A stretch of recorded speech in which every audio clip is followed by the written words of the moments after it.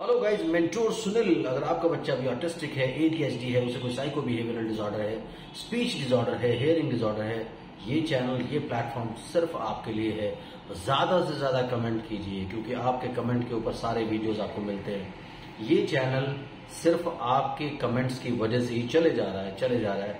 और जैसा मैंने आपको पहले भी बोला था कि मुझे लगता था कि 100-200 टॉपिक्स के साथ ही शायद ये सारी की सारी चीज़ें खत्म हो जाएँगी, लेकिन अब 500 के ऊपर हो गए और पता नहीं कितने होंगे, सिर्फ़ आपकी वजह से। इसलिए कमेंट ज़रूर कीजिए। आपके कमेंट से क्या होता है कि लोगों को भी अवेयरनेस मिलती है।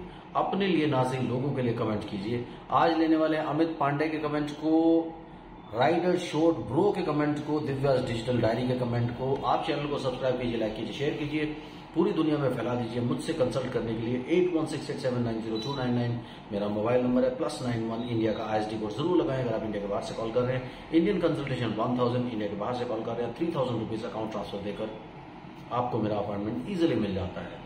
तो चलिए, सबसे पहले अमित पांडे के कमेंट को ले लेते हैं। Sunil sir I am very thankful to you आपसे कंसल्ट करने के बाद से I am seeing lot of changes in my Riyanshi she is improving day by day उसका आई कांटेक्ट और सिटिंग एंड ऑल बहुत इंप्रूव हो गया है just in near two months under your guidance सबसे अच्छा बात कि आप जो सेशन बता रहे हो, उसको फॉलो करना it's very easy to understand and do it once again thank you sir for your support thank you Amit Pandey आपने इतना अच्छा खूबसूरत कमेंट लिखा। ऐसे ही अपनी प्रोग्रेस को शेयर करते रहिए ताकि दूसरे लोगों को भी मोटिवेशन मिले।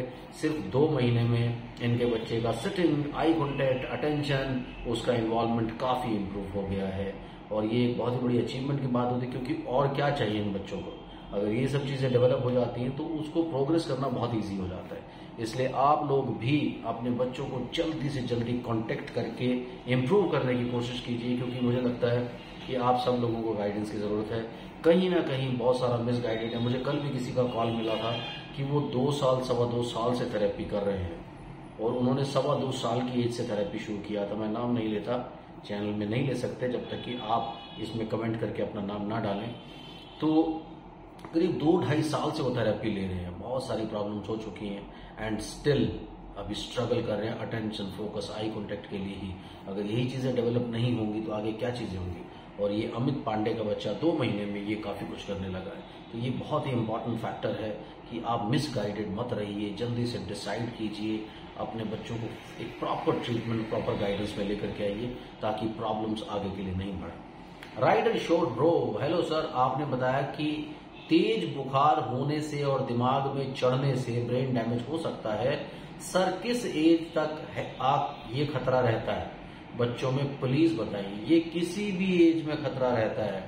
आप चाहे किसी भी उम्र के हैं, उसमें ये खतरा बना ही रहता है, क्योंकि अगर किसी के भी बुखार दिमाग में जाके चढ़ जाता है, यानी उनको 103 डिग्री 104 डिग्री फीवर होता है तो कोई ना कोई डैमेज तो वो कर ही जाता है, चाहे एज 10 साल हो एक साल हो, एक महीना हो, बीस साल हो, पच्चीस साल हो, पचास साल हो, ये नहीं होना चाहिए।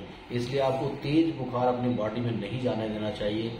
होता है तो जैसे ही बुखार एक एक सौ एक एक सौ दो पार करता है, उसको मॉनिटर करें, उसको कंट्रोल करने की कोशिश करें। अगर आपका बच्चा है तो पीडियाट्रिशियन की सलाह तुरंत लें, उसे एडमिट करें।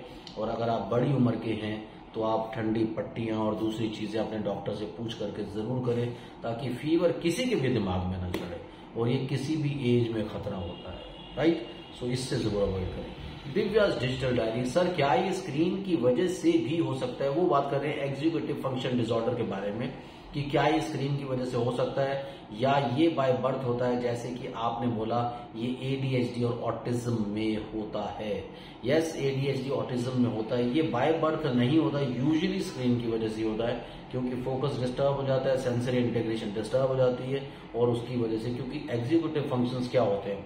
वो आपके सारे सेंसेस को मांगते हैं, जब भी आप कोई एक्टिविटी परफॉर्म करते हैं, उसमें या आप बात करते हैं, या अपने आपको प्रेजेंट करते हैं, वो सारे के सारे आपका सेंसरी इंटेग्रेशन यानी सारी सेंसेस का एक प्रॉपर इंटेग्रेशन होना चाहिए, एक प्रॉपर प्रोसेसिंग होनी चाहिए, लेकिन स्क्रीन की वजह से ये सारी की सारी प्रॉब्लम्स बच्चों में आ जाती हैं स्पेशली स्क्रीन की वजह से होता है 99 परसेंट ऑफ़ द केसेस में। बाकी मैंने आपको इंसिडेंट्स बताए हैं कि सीजर डिसऑर्डर में भी हो सकता है, तेज बुखार दिमाग में चढ़ जाए तब भी हो सकता है, आप किसी हाइट से गिर गए हो, कोई ट्रॉमा हो गया है ब्रेन को, तब भी हो सकता है। तो ये सारी प्रॉब्लम बता सकते हैं। Usually in 99 percent of the cases ये स्क्रीन की वजह से होता है। Thank you very much bye